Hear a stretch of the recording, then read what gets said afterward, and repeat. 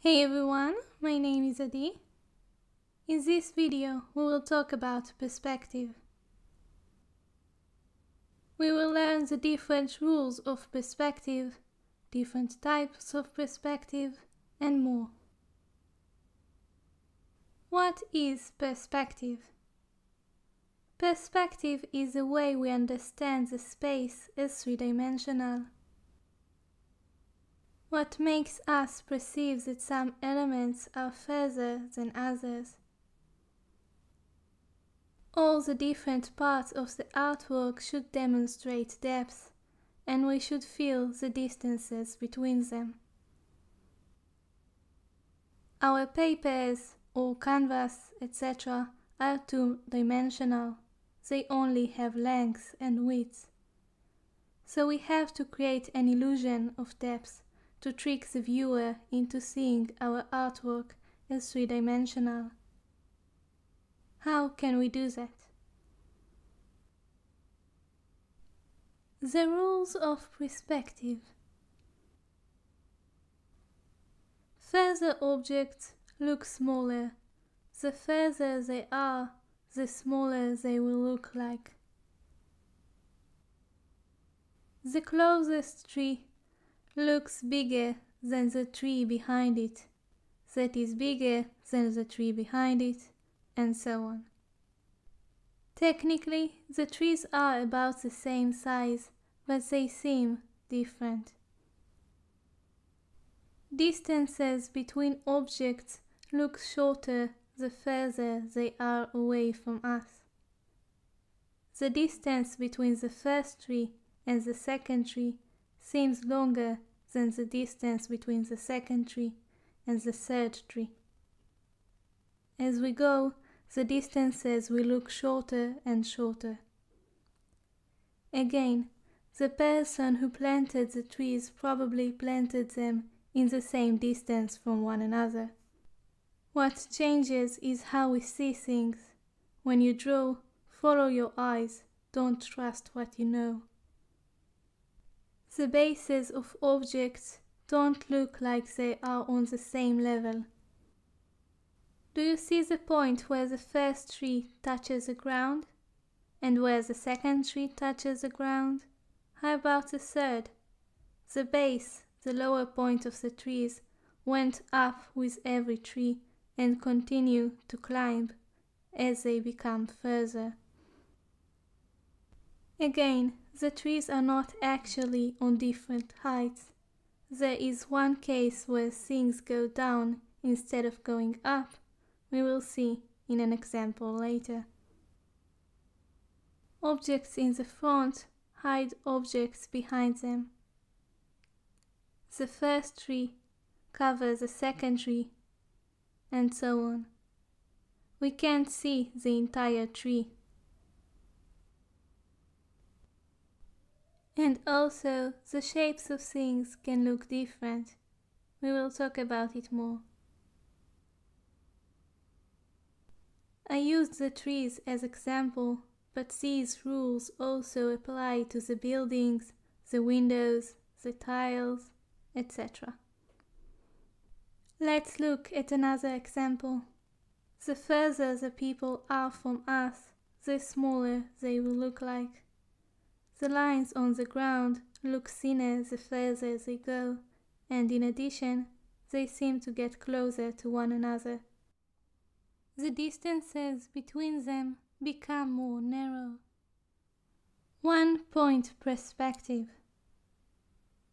When all the lines of the perspective are going to the same place, when they all meet at the same point, the vanishing point, it's called one point perspective. The vanishing point can be in different places in a photo, in an artwork. It doesn't have to be in the middle. When you take a photo or plan a drawing, you capture only part of your surrounding, so you can choose where the vanishing point will be. So actually, the vanishing point can even be outside the frame, like in this photo. In order to draw a one-point perspective, first place a vanishing point, and then draw lines that go through the point. I am drawing one horizontal line parallel to the paper, one vertical line parallel to the paper, and one cross of diagonal lines. These are guidelines. All the perspective lines have to go through the vanishing point. It looks like an analog clock and hands pointing on different hours. The lines above the horizontal line points up.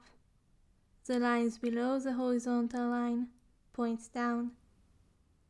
The lines to the right of the vertical line points right, and the lines to the left of the vertical line points to the left.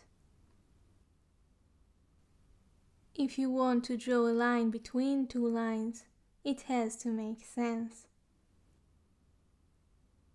I'm adding buildings to the drawing. I'm placing the windows, the doors, according to the lines. Even if the window is a square, you can't draw it as a square.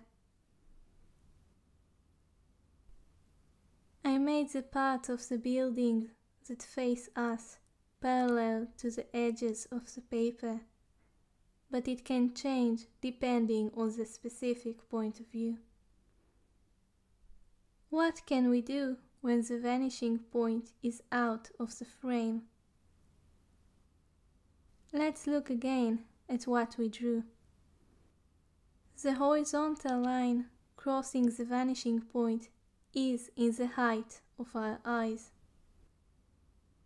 The angles of the lines become bigger the upper or lower they go. Why? Because they are getting further from the height of our eyes. Remember the demonstration on the cup in the video about how to draw the head? Let's use this cup for demonstration. When we look from above, it looks like a circle. But if we rotate the cup and put it at the same height of our eyes, it becomes a straight line. In between, it looks elliptic. How much it rotated will determine how wide or narrow it is. The lines of the side of the cup become closer if we look from above or below. So things will look straight if they are the same height of our eyes or camera in this case, and will become rounder the further away they get from the height of the eyes. The same rule applies to square objects. They will look like a straight line in the height of our eyes and will become more angular the further away they are from the height of our eyes. The same rules that work on the cup work on other things too. Using this concept, we can create a drawing with a vanishing point outside the frame. All you have to do is to decide on the locations of two lines, and then you will be able to find the locations of the other lines. Just think about how the angles are compared to one another. I'm creating a drawing very similar to the previous one to show that it doesn't really matter if the vanishing point is outside the frame or not. It's the same drawing process.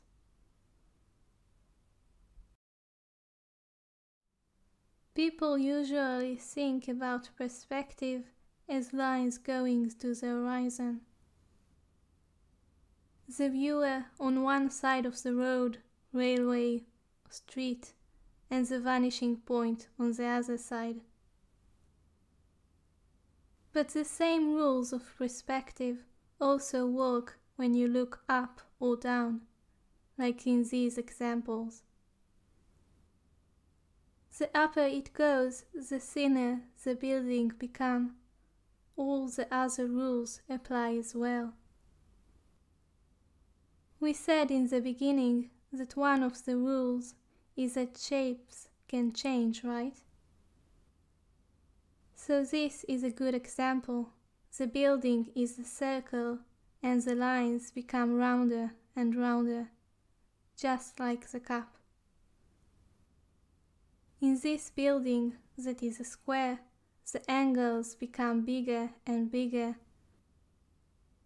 In this example too. Arches also look interesting from below. We can see the bottom of the arch and the ceiling behind it. So what makes a perspective what it is, is where we are standing in relation to the space. Before we move on to two-point perspective, we have one more thing we talked about in the beginning that we didn't cover yet. Why in this photo the bases go up and in this photo they go down? Need a clue? Think about the viewer location. The answer is in one photo the bases of the trees are below us and in the other the pillars are above us. It's also true for the windows of the first photo. Two-point perspective. Just as the name suggests, this perspective has two vanishing points. Some of the lines will go to the first point, the others to the second. You will see the two-point perspective in places when two roads meet. When you look at a corner of a building, the corner of the building will look bigger than the rest. In the place where the two sides meet. Let's draw a two-point perspective. Place the two points. Mark one vertical line for the meeting place of the two sides and a horizontal line for the height of our eyes. Add two angles to help you determine the other lines. When you draw the buildings, doors, windows, they will have to be on lines that go into one of the two points. The elements will be bigger near the vertical line and will become smaller the further they go. In the right side of a building, the elements will be on lines that go to the right vanishing point. And in the left side of a building, the elements will be on lines that go to the left vanishing point. When you draw a line, use a ruler Place it on the suitable vanishing point. The lines of this window will go to the vanishing point on the right side. You can use things like light and shadow and color to emphasize the perspective. You can use a contrast of light and shadow between the foreground and the background like in this photo. You can also use color. For example, if you create two people in the same color of clothing far from one another, it will make our eyes travel from one to another, pulling us into the perspective. Before we move on to the last part of the video, I want to ask you a few questions. In this photo, is the perspective a one point or a two point perspective? You can pause the video if you want more time to think about it. If you said one point, you are correct. If you said two point, then you are also correct. If you said both one point and two point, bravo. This photo has both. What are the rules of perspective that we talked about in this video? Let's see what you remember. Further objects look smaller. Distances between objects look shorter the further they are from us. When objects are in different distances from us, their bases will look like they are not on the same level. Objects in the front can hide objects in the back. Shapes of things can look different depending on the distance from the height of our eyes. Foreshortening The more something faces us, points at us, the shorter it will look like. And things will look longer when we see them from the side. The distances inside an object in foreshortening will become shorter too. Thank you so much for watching until the end. I hope you will find this video useful. Knowing perspective and point of view will be helpful for anything you draw from now on. Make sure to subscribe if you haven't done so already, so you will not miss any new content.